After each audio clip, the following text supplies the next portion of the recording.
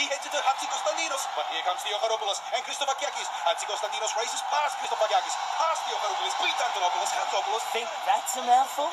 Then you should try our souvlaki combo.